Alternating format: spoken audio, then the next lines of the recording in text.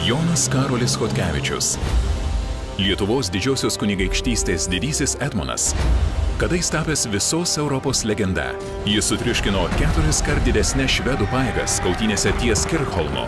Jis vadovavo mūšiams prieš vieną galingiausių pasaulio jėgų - Osmanų imperiją. Istorikų komanda Genutė Kirkienė, Alfredas Bumblauskas, Kestutis Kilinskas ir žurnalistas Edmundas Jekilaitis leidžiasi į kelionę per Europą. Nuo Vilniaus iki Venecijos, nuo Varšuvos iki Stambulo. Ten, kur savo pėdsaką paliko legendinis Lietuvos karvedys.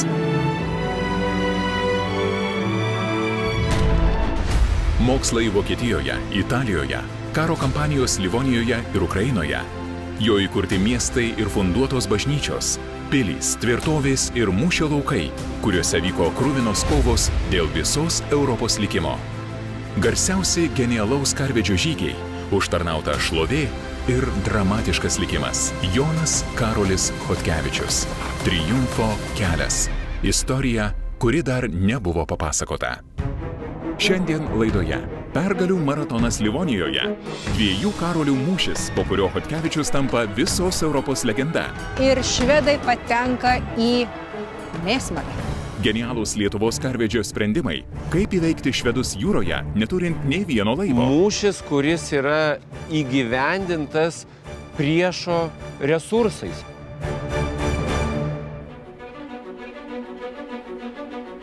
Jonas Karolis Hotkevičius, baigęs mokslus Vokietijoje, pasisėmęs karo žinių Italijoje bei Maltoje, grįžta į Lietuvos didžiąją kunigaikštystę ir nuo 1595 atsideda nuolatiniai karo tarnybai.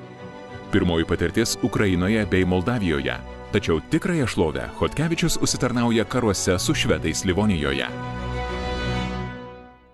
Esame Dauguvos pakrantėje, dabartinėje Latvijoje ir genutė ar suklysiu sakydamas, kad tai yra vieta, kuri mena pirmąjį Jono Karolio Hotkevičiaus kaip savarankiško karo vado didelį mūšį.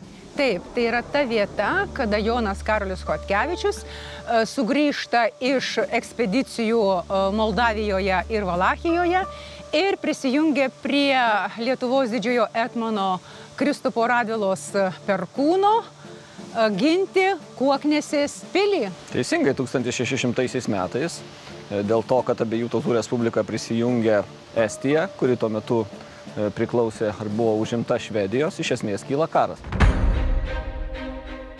Livonija ir vėl dešimtmečių tampa nesantaiko žydinio. Šį kartą dar ir kovos arena tarp artimų giminaičių. Tai buvo Vazų dinastijos vidinės kovos dėl sosto. Zigmantas Vaza, tai buvo Jono III Vazos ir Kotrynos Jogailaitės sūnus, kuris tėvui mirus 1592 metais tiesiog automatiškai tapo Švedijos karaliumi. Zigmantas Vaza, kadangi pats reziduoja Lenkijoje, regentu Švedijoje paskiria savo dėdę, tėvo brolį Karolį IX. Dar įdomus dalykas - konfliktas yra konfesinis. Zigmantas Vaza buvo auklėtas katalikiškai. Ir apskritai jisai Švedijoje stiprino katalikybę, o Karolis IX buvo protestantizmo šalininkas. Ir kada Zigmantas Vaza pasitraukė, atvažiavo čia į abiejų tautų respubliką, Karolis ėmėsi naikinti būtent tą katalikybės visą flangą, ką buvo sukūręs Zigmantas Vaza. Vaza su kariuomenė įsilaipina Švedijoje ir bando suvaldyti įsisiautėjusi giminaitį, susigražinti valdžią. Karolis IX, jis yra Zygmanto Vazos dėdė. O Zygmantas Vaza nu, turi pretenzijų tapti Švedijos karaliumi. Zygmanto Vazos armija susimuša su Karolio IX armija. Ir jau Švedija yra pasirinkusi liuteronizmą ir nebenori katalikiško valdovo. Nieko nepešęs Vaza grįžta atgal, o Rikstagas stoja į Karolio pusę, valdovu pripažįstamas jis. Tačiau Vaza nenusileidžia. Švedams priklausančią Estijos dalį jis prijungia prie abiejų tautų respublikos. Reaguodamas į žolių sunienų veiksmus, Karolis IX 1600-aisiais ir įsiveržia į Livoniją. Jo tikslas - prekybinis uostas Ryga. Kas kontroliuoja Rygą, kontroliuoja Livoniją. O kas kontroliuoja Livoniją, kontroliuoja visą jūrinę prekybą. Tad Švedijai siekiantis viešpatauti Baltijos jūroje, Livonija dar ir trokštamas ekonominis grobis. 1600 metais rudenį jisai įsilaipino dviejose uostuose. Tai yra Revelija arba šiandieninė metalinė ir Narvoje su maždaug 14 tūkstančių e, karių kariuomenė ir dviejomis kryptimis iš šiaurės į pietus pajuda į Livoniją. Geografiniu požiūriu karui Livonija netinkama. Čia nėra plačių atvirų laukų mūšiams, teritorija pelkėta, išvagota upių, kariuomeniai sudėtinga judėti. Tad švedai atvyksta rudenį ir sulaukia, kai ledas sukausto visus vandenis, iki 1601 balandžio užima kone visą šalį iki Dauguvos ribos prie Dauguvos ribos yra labai svarbios trys įtvirtinimai ir Rygos miestas. Tai Rygos miestą Švedijos kariuomenė apsupa, toliau antrasis miestas, kuris yra apsupamas kartu su e, pilies įgula, tai yra Koknėse ir trečiasis yra Daugpilis. Dauguvos riba ir Koknėsės miestas yra strategiškai labai svarbus dėl to, kad iš per čia eina viena iš svarbiausių kelių į Lietuvos didžiosios kunigaikštystės e, sostinę Vilnių ir Kauno miestą. Taip, tai, tai yra per Ukmergę. Reiškia, užėmus Koknėse susidaro sąlygos e, rengti į gilumą. Žygiuoti pusė. toliau į gilumą. Tai tai jokių būdų negalėjo nekelti ir nejaudinti tuo metinio Lietuvos didžiojo etmono Kristupo Radvilos e, perkūno ir lauko etmono Jono Karolio e, Hotkevičiaus kurie pirmieji būtent ir atskuba ginti Koknesės e, tvirtovės. Grįžkim prie šios pilies apgulties. Pilyje sėdi lietuvių, lietuvių įgula. Taip. Švedai negali... aplink, aplink švedus dar lietuvių. Taip, jie negali išėdę išeiti iš miesto, iš koknesės, e, ne, tada provinencijos negali gauti ir, ir būtent taip juos dusina. Nu, ir tada jau atvažiuoja Karolis į pagalbą, Su Hotkevičiumi atvyksta apie 3000 karių, dar apie 1000 Kristupo Radvilos perkūnų kariuomenėje. Birželio 23 dieną įvyksta mūšis. Tas mūšio laukas konkrečiai, jeigu imti turbūt nuo pilies, tai jis yra apie 2 km į rytus, nuo čia, kur mes dabar sėdime. Mūšio lauko plotis yra 600, o ilgis yra 1700 metrų. Tai išdėstyti e, iš vienos pusės 4900 karių, iš kitos pusės 4000 karių yra nemenkas iššūkis. Ir aš dar sakyčiau, kad tai galėtų būti ir savotiška problema sistema Lietuvos didžiosios kunigaikštystės kariuomeniai, kuri naudojasi husarų daliniais arba kavalerija, kadangi kavalerijai reikalinga tam tikra erdvė jos manevravimui, jojimui ir aišku kartu greitėjimui.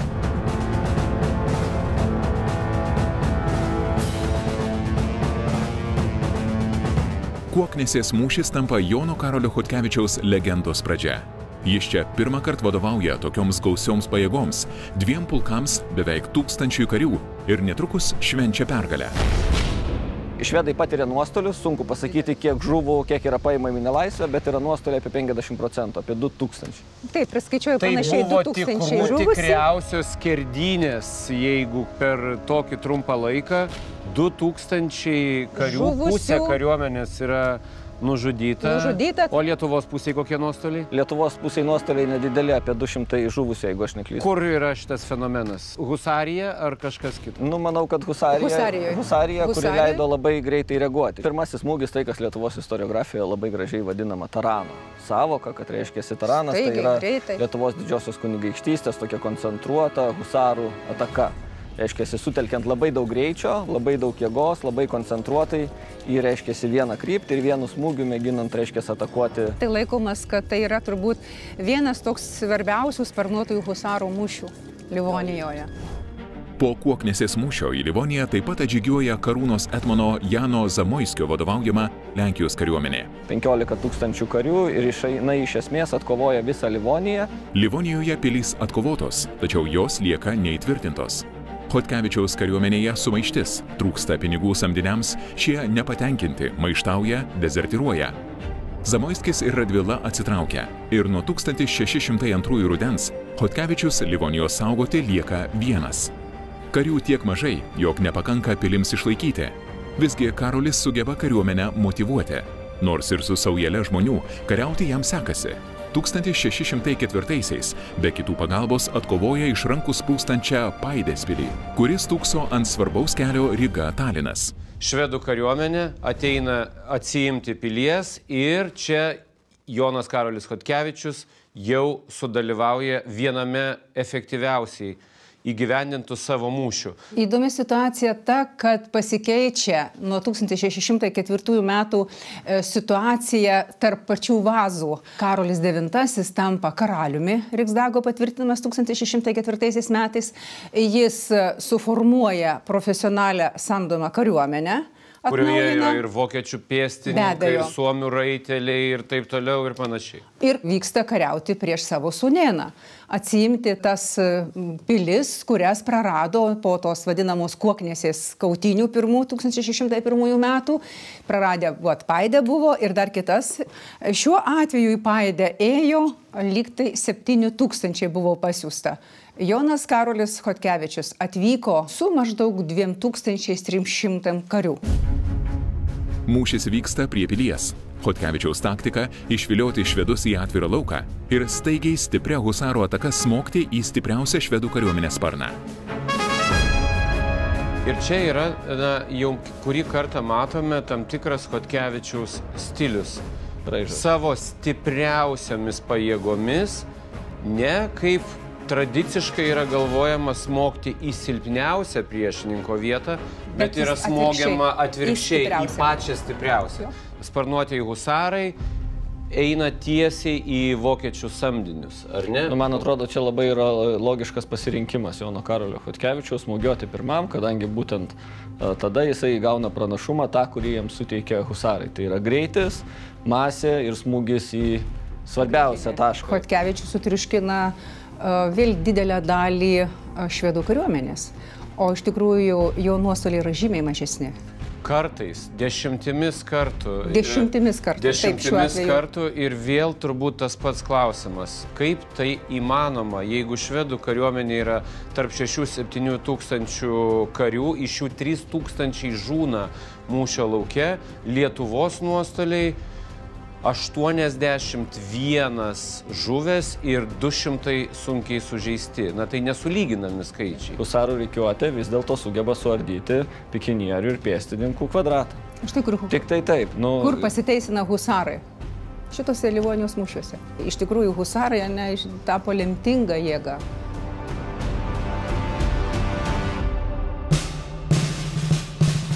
Lemtinga jėga sparnuoti LDK husarai taps ir netrukus įvyksiančiame legendinėme Salaspilio arba kitaip Kirchholmo mūšyje. Sutelkę jėgas, pastiprinę jas patyrusiais samdiniais iš Škotijos, Anglijos, Vokietijos, Niderlandų, 1605 rūpjūtį į Estiją su milžiniška kariuomenė atplaukė švedai. Hotkevičius tuo metu jau patyręs karvedys, didysis Etmonas. 1605 m. rūpiučio 12 d. Švedijos karo vadas Joachimas Mansfeldas su maždaug 4000 karių būrų įsilaipina prie Rygos, Dunemundėje. Panašiai tuo pat metu po vienos savaitės su irgi maždaug 4-5 tūkstančių karių kariuomenė šiaurėje įsilaipina švedų karo vadas Lenartsonas. Tuo metu Jonas Karolis Kotkevičius su savo kariuomenė yra apsupęs Dopartą. Iš Rygos miestiečių pagal siunčiamą laišką jisai puikiai žino, kad Johimas Mansfeldas jis yra įsilaipinęs čia. Ir sužinojęs, kad Mansfeldas išsilaipino prie Rygos, jisai dalį savo kariuomenės, nedidelę, pasiunčia prie Rygos miesto. O pats atsitraukia iki Viljandžio, kur galvoja, kad sutiks e, Lenartsono kariuomenę žygiuojančią iš Talino. Geografiškai tai yra tinkama vieta. Bet atsitinka tai, kad pats karalius Karolis IX Sudermanas su savo kariuomenė tuo metu išsilaipinam Pernavoje arba šiandieninėme Parma. Sujungęs jėgas su Lenartsonu, Švedijos karalius Karolis IX žygiuoja Rygos link. Pakeliui lengvai atsimdamas prieš tai Lenkų ir Lietuvių užimtas tvirtovės ir vengdamas mūšių atvirame lauke. Švedų planas, susijungus visiems trims korpusams, apsiaustimi priversti kapituliuoti Rygą. Tai priverčia Joną Karolį Hotkevičių atsitraukti. Pirmiausia, iki, kas yra tuo metu, nu, turbūt tranzicinis taškas iki Cesio ir iš Cesio žygiuoti į Kircholmo mūšio lauką.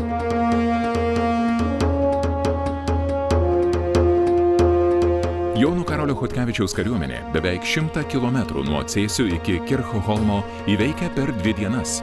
Švedai nutraukia Rygos apgultį ir taip pat juda Salaspilio link, tikėdamėsi, kad gerokai menkesnės LDK pajėgos neatsilaikys.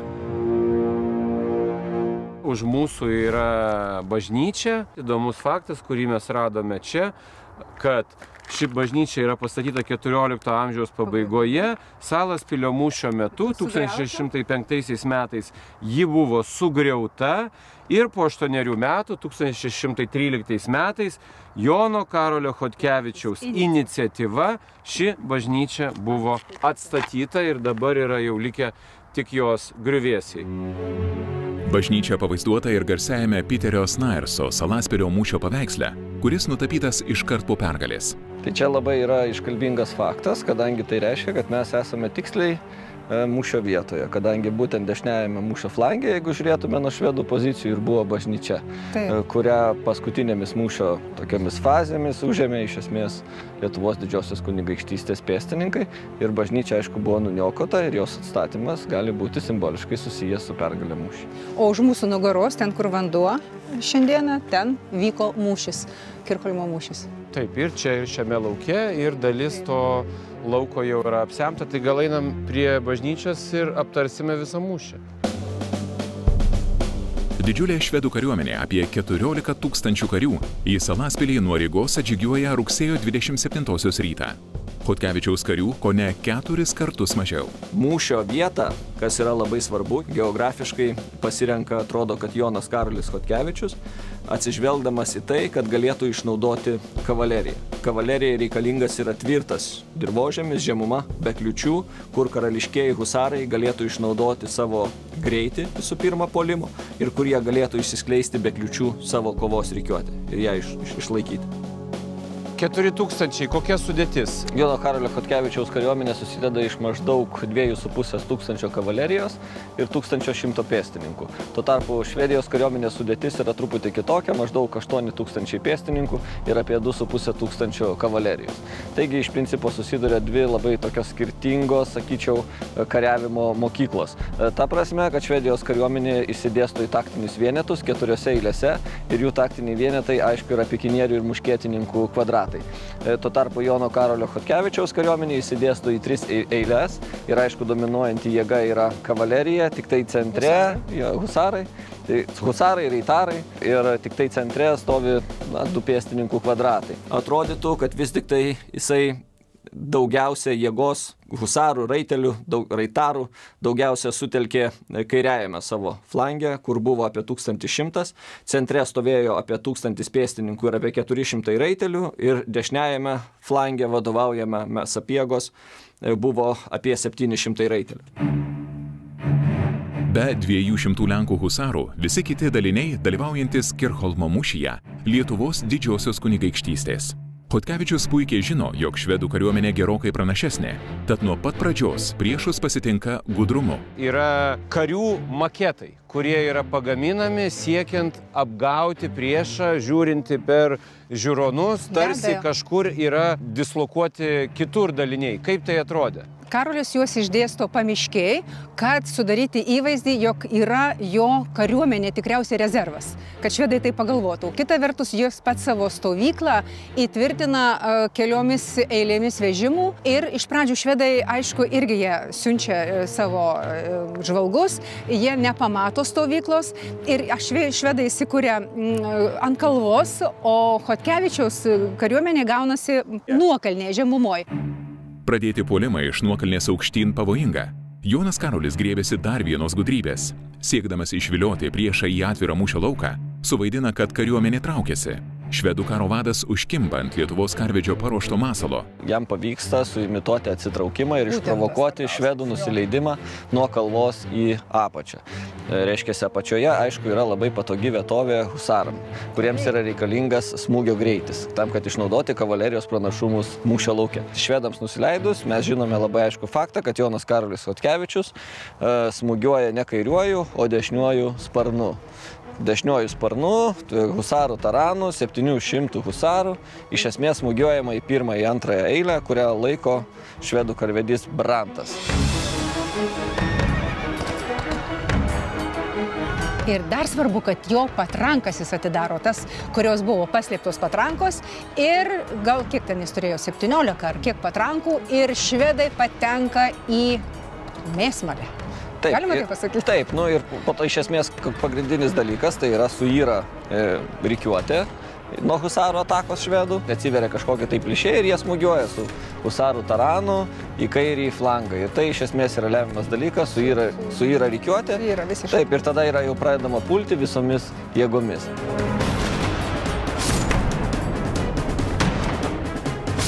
Lemiamoji ataka pavaizduota ir garsiajame Salaspilio mūšio paveiksle, kurio kopija saugoma Kretingos muziejuje. šitame paveiksle mes matome mūšio fazę, kuomet Jonas Karolis Kotkevičius išprovokuoja Švedijos pėstininkų liniją nusileisti nuo kalvos į, sakykime, daubą, į slėnį. Va čia va yra pavaizduota šita eilė nusileidusi. Jis susiduria su pėstininkų ugnimi ir su husarų ataka. Tai čia, sakyčiau, kadangi pats mūšis jisai neturėjo kažkokių tai didelių manevravimų, e, tai už tai ir sakau, kad pavaizduota mūšio esmė. Labai gerai galime suvokti mastą ir dydį, nes turime puikų objektą. Bažnyčios e, griuvėsius, kurie ir dabar stovi Salas pilio mūšio lauke, tik tai e, matome esminį pasikeitimą, kad Dauguva dabar dėl užtvankos yra prie pat bažnyčios. Pagrindinė mintis ir yra, kad, e, reiškia, su husarais buvo smokta į pirmąją eilę pėstininkų ir antrąją eilę kavalerijos, taip. Jos buvo sutriuškintos, tada greičiausiai trečioji, ketvirtoji pradėjo trauktis ir uh, visa Lietuvos didžiosios kunigaikštystės kariuomenės reikiuotė pajudėjo į priekį. Kur mes čia turime Joną Karolį Kotkevičių. Joną Karolį Kotkevičių mes turime tarp pirmosios ir antrosios Lietuvos didžiosios kunigaikštystės kariuomenės eilių. Štai čia. E, tai yra tokia Štai jisai, ar ne? Štai. Subuožė. Dar galima į daugą dėmesį atkreipti. Pavyzdžiui, galima atkreipti dėmesį į husaro iečių poziciją. Galime matyti, kada jos yra išrikiuotos rikiuotėje, jos yra pakeltos. Ir mes žinome, kad kada husarai artėja link priešininko reikiuotės, jie tas ietis po truputėlį lenkia. Taip, ir čia jau galime matyti, va ietis yra uh, atstatytos tam, kad sukurti va tokį smūgį. Ir čia jau reikiuotė išardyta e, švedų ir čia Taip. matome, na, persiekiojimą arba dorojimą vienas prieš vieną.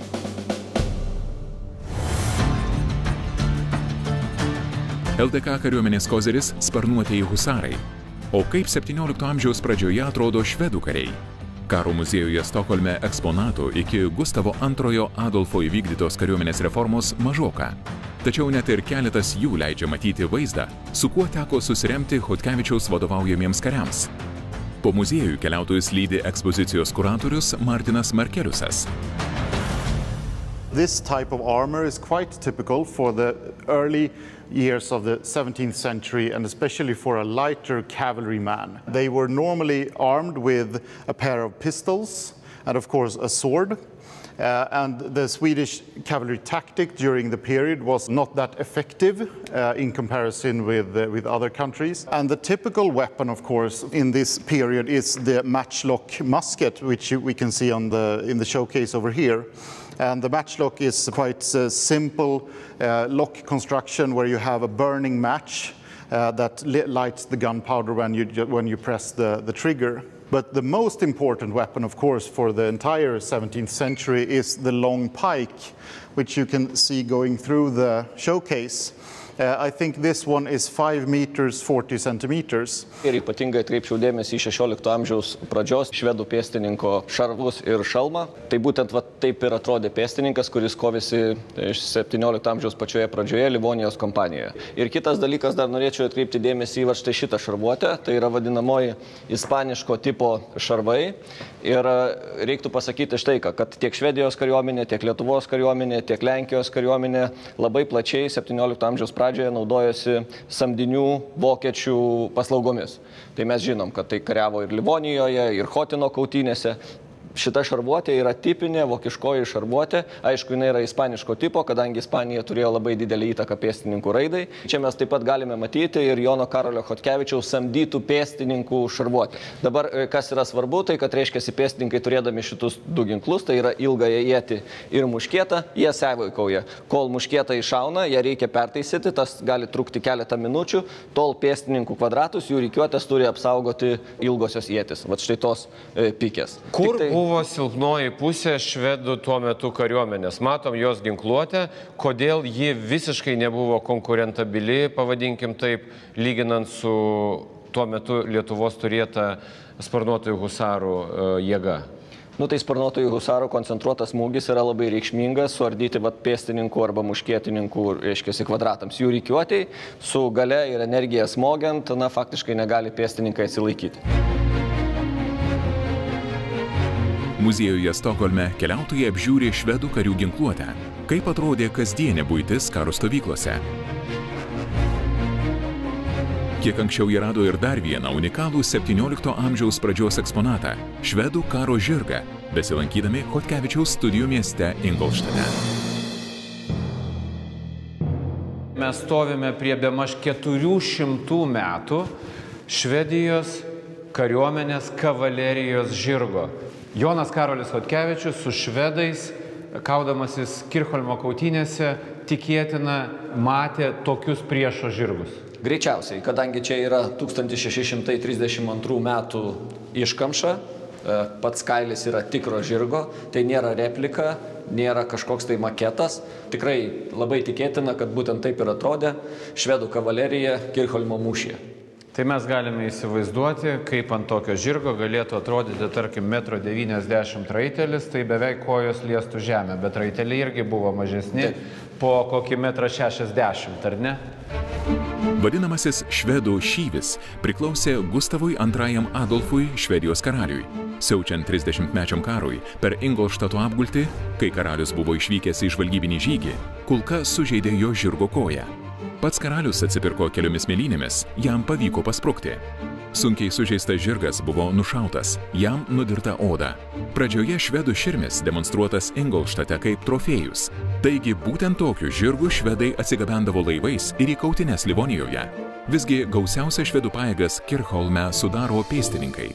Kestutį mes matom čia Stokholmo muziejuje, karo muziejuje skirtingai apsirengusius karius, kurie yra sustoję į kvadratą, turi jėtis, turi muškietas.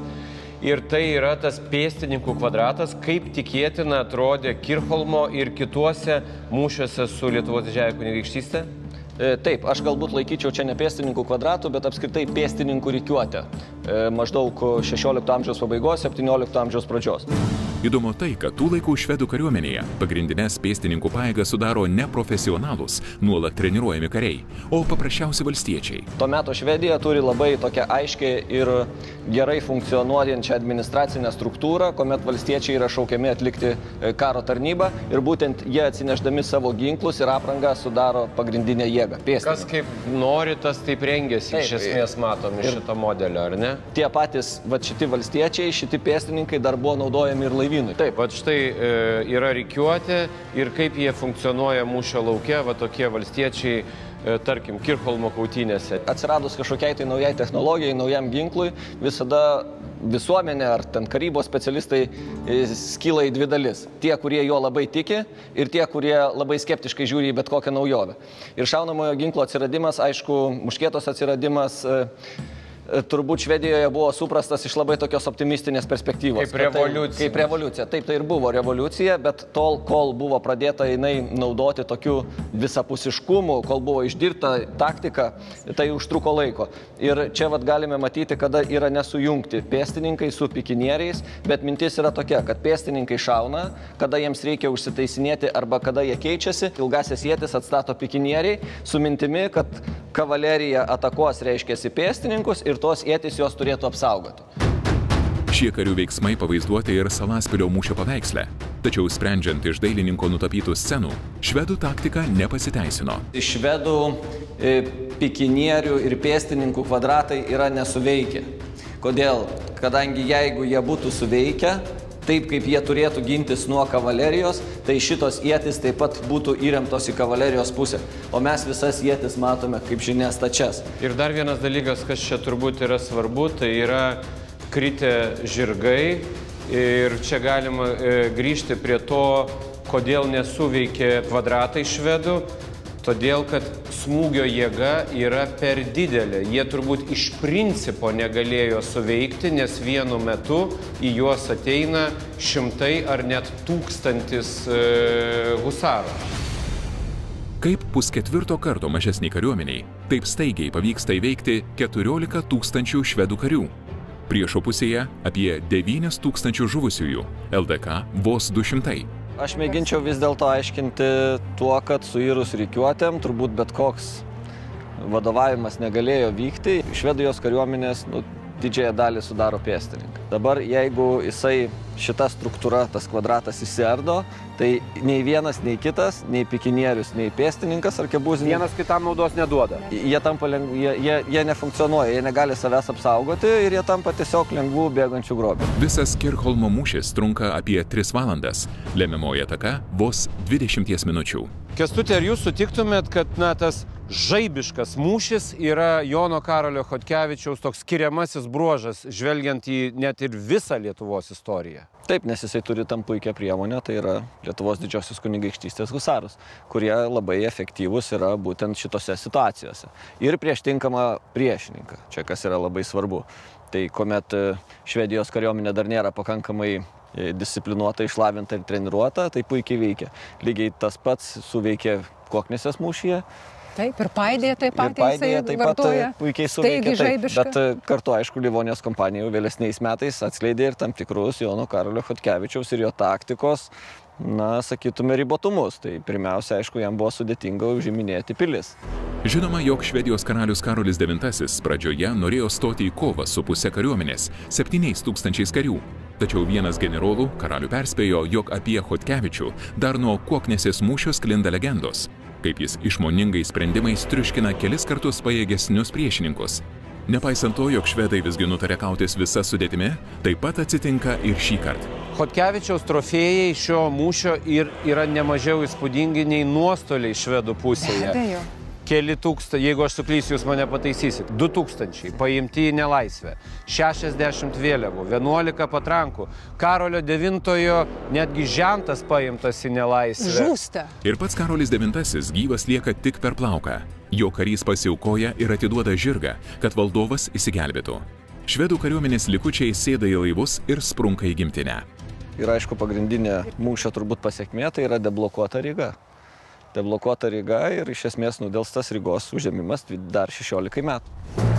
Kalbos apie neįtikėtiną Jono Karolio Hotkevičiaus pergalę, jo karinį talentą ir ypatingus strategų sugebėjimus netrunka apskrieti po pasaulį.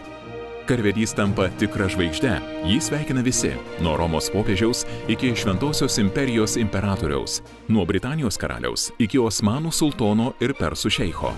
Hotkevičiaus pergaliai pažymėti Flandrijoje, audžiami kilimai, rašomos poemos. Vienas garsiausių veikalų Laurencijos Bojerio Karolo Machija arba Karolių mūšis bus išleista Vilniuje 1606-aisiais. Hotkevičius sveikina ir karalius Zigmantas Vaza. Tačiau nepaisant pergalių, kariuomenę Etmonas ir toliau turi rūpintis pats, o pinigų trūksta. Jono Karolio Hotkevičiaus kariuomenė iš principo buvo privati, kurią jisai turėjo išlaikyti iš savo giminės valdų. Tai reiškia, kad visos pajamos, kurios tenka iš tavo dvarų, turi eiti tos kariuomenės apmokėjimui. Hotkevičius nebuvo tiek turtingas, kad galėtų pilnai iš, iš, išlaikyti e, tą kariuomenę ir tarkime tam, kad išlaikyti kariuomenę, jisai pardavinėjo ir savo sidabrinius indus. Nu, o ką daryti? Jeigu biudžetas tuščias, valdovas nemoka, o kariaut reikia. Ir kad tos kariškius šiek tiek nuramint, nuramint aš taip įsivaizduoju, jis meta savo pinigus. Nu, iš principo tai yra tas pats, kas laikyt, išlaikyti savo na, tą privačią kariuomenę. Tai, nu, Atkevičius šiek tiek galbūt parodė didesnį tokį sumanumą, ar pilietiškumą, šiandien sakytume. Va, tai, bet po to, jie, nu, po, po to paprastai grįžta tie pinigai. Grįžta dėl to, kad visi įvertina nuopelnus ir atsilyginama yra dvarais ir dar kuo nors. Nors po Kirchholmo mūšio sudaromos paliaubos, tačiau netrukus Karolis IX jas nutraukia ir vėl ima puldinėti Rygą. Karas Livonijoje tebesitęsia. Šioje kampanijoje ypač įsiskiria 1609-ieji, kai vyksta pirmas ir vienintelis Lietuvos istorijoje jūrų mūšis prie Salatsgrybos. Ir čia Jonas Karolis Kotkevičius dar kartą pademonstruoja išskirtinį talentą. Sausumos karvedys užgrobė švedų laivus ir su jais atakuoja priešo flotilę jūroje. Kodėl salas gryva buvo tokia svarbi? 1609 m. pavasarį Salasgriva buvo svarbi tuo, kad čia buvo švedų flotilė, kuri užsiemė Rygos miesto blokada. Reiškia, tuo metu Švedijos kariuomenė vadovaujama Johimo Mansfeldo buvo apsupusi Rygą iš sausumos ir laivynas blokavo Rygos prieigas iš Baltijos jūros. Ir e, čia yra esminė Salatsgrivos reikšmė. Kitaip tariant, nenugalėjus e, švedų, čia nesunaikinus švedų laivyno arba blogiausia atveju jų neišvyjus iš salas gryvos, nutraukti Rygos blokadą buvo neįmanoma. Taip, ne? jų labiau, kad e, salas gryvo dar ir buvo viena iš e, turbūt stipriausių švedų karinių bazių. Čia jų buvo amunicijos sandėliai ir provizijos. Kad Hotkevičius yra sumanus karvedys, švedai tikrai suprato kariaudami Livonijoje. Tačiau, kad jis gali kautis jūroje, neturėdamas nei vieno laivo ar jūreivio, turbūt net nesapnavo. Hotkevičiaus planas visų pirma užimti Pernų, kurį tuo metu kontroliuoja švedai. Nuo Rygos jis atžygiuoja ne keliais, o užšalusiomis pelkėmis. Šiandien Estijos Pernų mieste, prie vienintelio išlikusio tuos laikus menančio pastato, Raudonojo bokšto, lietuvius pasitinka muziejaus archeologas Margo Samorokovas. How many people live in the Parno at that time? Uh, and that time, probably eight, 800 people. And uh, the outer side where they had these uh, uh, pastures and uh, small houses, uh, uh, thousand if you take them all together. So the city was actually very, very small. Keletas dalykų turbūt yra e, labai svarbių, ką mums pasakė, kad Jonas Karolis Hotkevičius e, užimdamas pernų susprogdino e, vartus, iš pradžių užėmė miestą, tada užėmęs miestą jau sukūrė planą, kaip užimti pilį. Labai mažutė pilis, keturi bokštai perimetro kampuose bet pati pilis yra tik tai 44 metrų ilgio, 44 metrų pločio ir jos įgula net nesiekia 200 karių. Bet nepaisant tokio infrastruktūrinio mažumo pačio miesto, pats miestas yra labai svarbus strateginis taškas. Uh, it was important because uh, if you look at the map, the Pärnu was situated right in the middle. The upper were, Tallinn, and other it was Riga. Mm -hmm. So whoever controlled Pärnu It was a strategic point through because of the sea, because of the river, all the movement went through Pärnu. If you take Pärnu, then the movement to Paide, even to Tartu, is it's uh, very complicated. You have to have uh, Pärnu in your hand. Okay. So if you have Pärnu, then Čia turbūt pati svarbiausia dalis tai yra tai, kad būtent maždaug nuo Parnų į rytus, jeigu taip imtume tiesia linija, eina pagrindinės Lietuvos didžiosios kunigaikštystės pilis, tai yra e, Viljandis ir Tartu. E, reiškia, būtent kurių gynyba yra labai svarbi, siekiant apsisaugoti nuo švediškosios Livonijos dalies. Tai yra tam tikra prasme švediškosios Livonijos ir Lietuvos didžiosios kunigaikštystės Livonijos pasienis. Ir aišku, kad jį užėmus, tada galima sėkmingai pulti. Tai mes turime žemėlapį 1634 metai, tai yra 25 metai vėlesnis žemėlapis nei e, Hodkevičius e, užima e, Pernų, bet e, Kestuti, kas jame yra mums svarbiausia žinoti? Čia kažkur turėtų būti vartai, kuriuos Kotkevičius susprogdino eidamas į miestą. Kas dar? Miestas buvo jokių būdų ne bastioninis miestas, tai buvo vidurimžiškoji pilis. Dabar miesto sienos aukštis, kaip mes jau įsiaiškinome, nebuvo didelis, kadangi aukščiausias bokštas buvo apie 16 e, metrų. Taip pat įsiaiškinome, kad 17 amžiaus pradžioje miesto sienų būklė, gynybinių įtvirtinimų būklė nebuvo gera. Prasta miestų būklė leidžia paaiškinti ir tai, kad Jonas Karolis Kotkevičius, atakuodamas e, Parnų, e, nusodino dalį savo kavaleristų ir panaudojo juos kaip pėstininkus. Nu, tai reiškia, jų įgūdžių turbūt visiškai pakako tą miestą užimti ir jų kiekio, kas yra svarbu. Jonas Karolis Kotkevičius atvyko su 2000 kariuomenė, kaip žinome, kad mieste gyveno 1000 žmonių, nu, tai dvigubai. Lengvai užėmęs miestą ir pilį, Hotkevičius užgrobė švedų laivus ir plaukė Salatsgryvos link. Parno jisai pasiruošė Salatsgrivos polimui, tai aišku, nusamdė Livonijos jūreivius, toliau paruošė e, dalį savo pėstininkų ir greičiausiai dalį savo kavaleristų, kadangi jo kariuomenės dalį ženklę sudarė kavaleristai. E, reiškia, jis paruošė mūšiui jūroje, mūšiui ant vandens, tai yra susodino juos į laivus, paruošė padegamuosius laivus ir nuplaukė prie Salatsgrivos uosto. Tikėtina, kad dar treniravosi ir abordažą, kaip tai gali atrodyti ir visa kita, jeigu to prireiktų. Panašu, kad e, jie norėjo naudotis ir patrankom, ir abordažu. Tikrai žinome, kad pasinaudojo e, padegamaisiais laivais, kurie uždegti privertė pasitraukti švedų flotilę iš uosto. Ir e, tuo metu taip pat žinome, kad prie uosto buvo pasirengę abordažui ir, ir ginkluoti patrankomis paimtomis iš Parnų tvirtovės. Apšaudyti išplaukiančius laivus. Apšaudyti išplaukiančius laivus. Ir, ir galime tikėtis, kad turbūt taip ir buvo padaryti. Ir to pasiekmė yra aišku, kad minėtoji flotilė švedų buvo priversta nutraukti Rygos e, blokadą.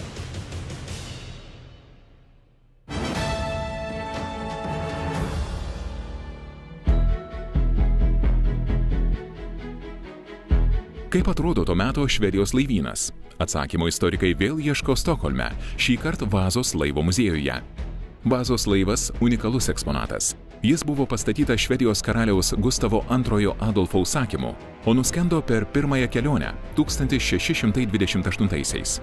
Po 333 metų buvo iškeltas iš jūros dugno ir šiandien yra geriausiai įsilaikęs 17 amžiaus laivybos eksponatas Švedijoje. Muziejaus mokslinių tyrimų vadovas dr. Fredas Hokeris pasakoja, kad Hotkevičiaus laikais švedų laivai atrodė panašiai, tik žinoma buvo kelis kart mažesni už šį milžiną ir gerokai paprastesni. Vasa was a new departure for the Swedish Navy. Uh, the Swedish Navy up to the 1620s, in, in the time of Okay. uh, Hodkevich's campaigns, uh, was mostly composed of smaller ships than this. Uh, the normal Swedish warship had been a ship with one deck of guns, maybe 20 to 24 guns maximum. Um, and Gustav Adolf, in his consolidation of the Navy in the 1620s, saw the future in artillery and built much bigger ships. And so Vasa is the first ship of a class that he imagined that would have two full decks of very heavy guns instead. Švedijos naujojo laivyno flagmanu turėjęs tapti vazos laivas nuskendo vos išplaukęs. Burlaivis buvo per aukštas, per sunkus, amunicijos per daug. And the deck structure is too heavily built. Perhaps they were intending to carry much heavier guns than they actually did, but it makes the upper part of the ship too heavy. Keliautojus iš Lietuvos labiausiai domina, kaipgi atrodė Hotkevičiaus užgrobti laivai, kurie istoriniuose šaltiniuose įvardyjami kaip barkai. Bark is a generic Latin term in documents of that period, and it refers to the second to largest class of full size ships. Uh, Vasa would be a ship or a novice in that same document, for example. Uh, and then uh, the smaller class of ship that in Sweden are called pinnaces or pinas uh, are called in Latin sources barca. Uh, and so the kind of ships we're talking about there are ships that look similar to Vasa, but are much smaller in length. They only have one deck instead of two gun decks, but they'll have the same rig and the same general appearance as this ship. But it's also the warship. The And bark is a warship. It's Well, not a. a, a bark can be any kind of ship, but if you use that term to refer to a warship, mm-hmm. it usually refers to not the biggest class, but the next biggest class. Ar iš ties įmanoma įgyvendinti tokią sudėtingą operaciją neturint patirties jūroje? Užėmęs Pernų, Hotkevičius užgrobė du švedų laivus, apginkluoja juos Pernų pilies patrankomis, randa įgulą, suformuoja flotilę, nuplukdo ją iki Salatsgryvos ir atakuoja ramiai snaudžiančius švedus. Yes. I, I I have no doubt that that's possible. They, they certainly did it. Um, I would also say, as a military historian, that that kind of rapid counterattack is typical of Lithuanian tactics. It was something that the Swedish uh, military always had difficulty in dealing with was how rapidly uh, the Polish army and the Lithuanian army could respond to Swedish advances. They had you know, masterful use of cavalry. Uh, they, they knew their own countryside. Um, you know, that's the advantage of fighting on your own turf. And turning a ship around against its masters was a very typical part of naval warfare. When you fought a naval battle, your primary goal was not to sink the enemy ships, it was to capture them and use them. Um, the crews on board were probably international. They were probably people on board who already spoke uh, enough of the right languages. Um, and somebody like Hotkevich, for example, who had studied in so many different places, had a mastery of a number of languages. So the command issue wouldn't be serious. Tais laikais, pasakoja dr. Hokeris, laivų įgula anaip tol nebuvo specialių įgūdžių turintys jūreiviai, siekintys karjeros, o tiesiog samdomi darbuotojai galintys valdyti ir karo, ir priekybinius laivus. Nebuvo jie ir patriotai, paklusdavo tam, kuris moka pinigus. Sailing a military bark is not any different than sailing a merchant bark. Uh, and so if you, can if you have a crew to sail them with, turning them around against their foreign marooners is no problem. Puolimas iš jūros švedams toks pat netikėtas kaip perkūnas iš giedro dangaus. Hotkevičius panaudoja dar vieną gudrybę - branderius, tai yra padegamuosius laivus. Pasamdyti jūreiviai nuvairuoja padegtus laivus prie grėsmės iš jūros nelaukiančių švedų. Keli laivai paskandinami iškart, kiti įsiveržia į jūrą. Probably they fixed the fire ship to the main ship and they fired it. So that, that's, Well, th- that's, th- that- that's, that's one way to do it. Yeah. Um, another way to do it is that you sailed it with a crew close, set it on fire, and then all of your, your crew jumped off into a boat. And at that point, the ship will just continue in the direction it's going Okay. and, and sail into the enemy. And if you're going to use it as a fear weapon to, to goad your enemy into a specific action rather than deliberately trying to destroy his ships, that might be the better tactic to give him just enough time to get his anchors up and move mm-hmm. to where you want him to go. Laivų padegimo taktika naudojama nuo senovės graikų ir romėnų laikų.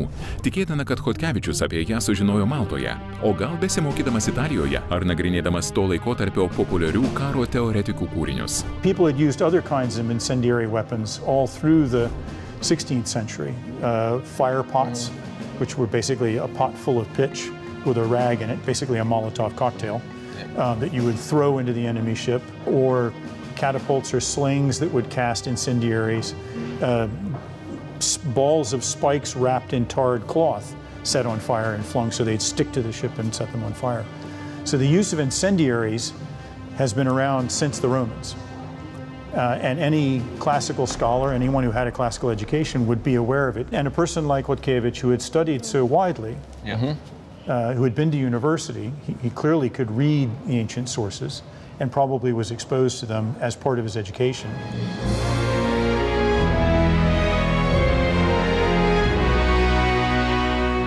Turbūt, kad imtis avantūros, tai reikia apskritai mokėti gebėti improvizuoti.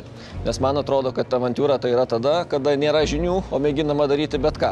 Tai Jonas Karolis Hotkevičius nepanašu, kad buvo avantūristas, jisai buvo puikus skaičiuotojas ir improvizatorius. Ir va šitas Salatsgrivos mūšis tai tik tai dar labiau patvirtina. Su jūro karo idėjomis jisai tikrai buvo susipažinęs ne tik tai studijuodamas įvairius karinius veikalus, bet aišku, kad būdamas Maltoje puikiai žinojo, kaip kariavo Osmanų laivynas. Ir aišku, kad e, pasinaudojus turbūt atsiradus galimybė, jisai ir pats apsisprendė, reiškia, daryti vat, panašų veiksmą. Tai, ką jisai padarė, kaip jau supratome, to meto Europos tokios jūrinės karybos kontekste buvo gana tipinis veiksmas. Tai čia galima žiūrėti dviejopai. I- Iš jūrinės tokios kariavimo perspektyvos tarsi tai tipinis veiksmas, bet Lietuvai kaip sausumos Ir Baltijos jūros jūrai, regionui tai, tai buvo naujiena. Tai Ta- naujiena ir netipinis veiksmas. Tai Taip, ypatingai- padegamosius laivus galėjo naudoti ispanai, anglai, bet Baltijos jūroje tokios taktikos nebuvo. Dar Tokios iki tol taktikos naudojo. nebuvo, taip ir jisai tą e, padarė. Tai tik tai dar labiau, sakau, mano galva, tai tas mūšis labai patvirtino jo tam tikrą ir improvizacinį, ir tokį e, skaičiuotojo gebėjimą, nu ir kartu unikalumą. Tai Taigi čia yra ir Karolio genialumas turbūt atsiveria, ar ne?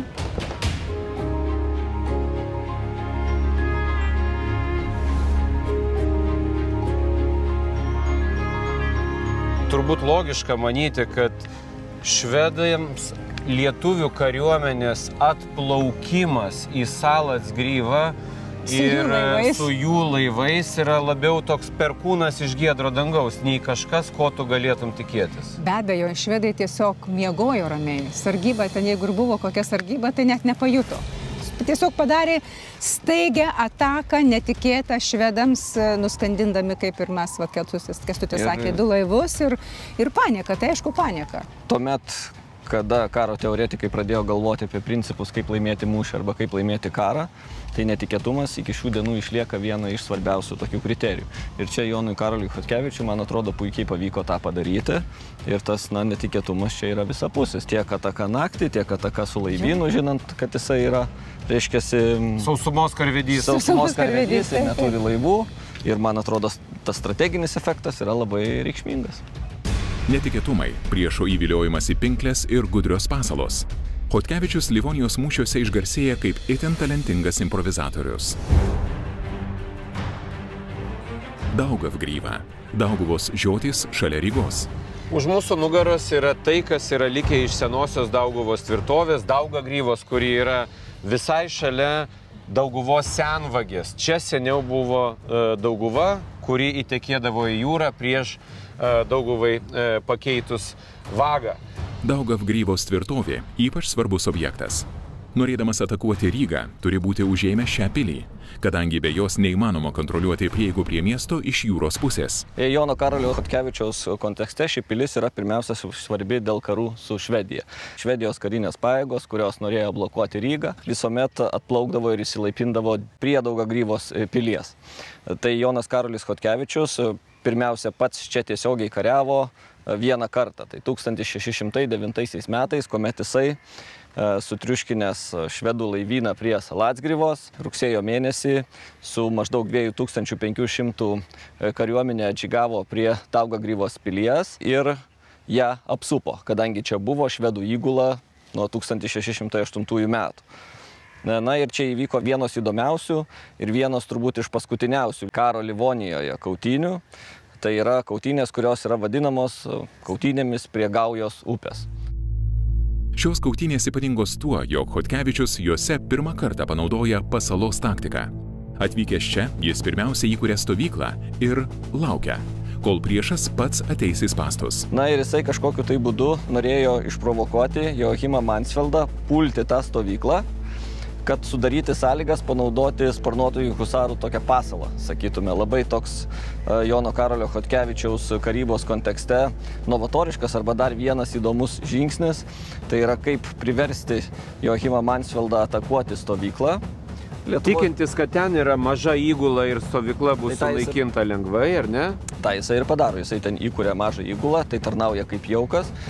Mansfeldas tą jauką, sakytume, praryja, reiškia, jisai pasiunčia karius pulti stovyklą, tuo tarpu Jono Karolio Hotkevičiaus husarai netikėtai atakuoja ar, ar žygiuojančius, ar bepuolančius stovyklą švedus ir juos sumuša. Tokiu būdu Jonas Karolis Hotkevičius susikūrė savo sąlygas panaudoti husarus ir įveikti švedus, kurių jisai nesugebėjo įveikti 1608 metais. Tai pasala buvo toks išmoningas sprendimas, kaip galima didesnę kariuomenę, ženkliai didesnę kariuomenę įveikti vienu husarų smūgiu.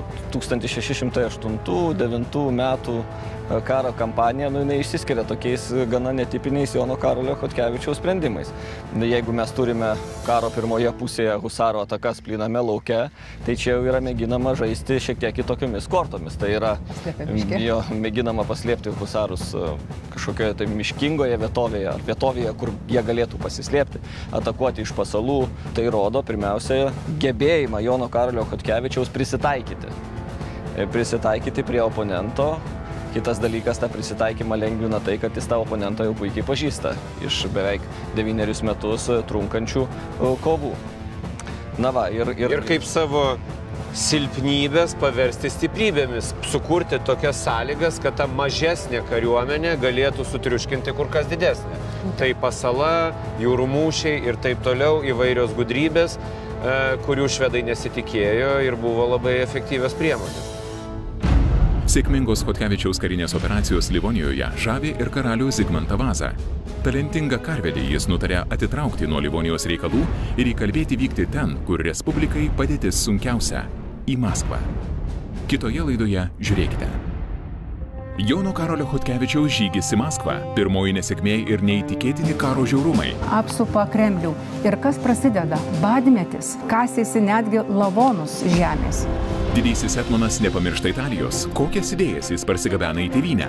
Tai yra ikoninis bastioninis fortas, būtent toksai, koksai ir atsirado Italijoje tada, kuomet čia savo studijų metu lankėsi Jonas Karolis Kotkevičius.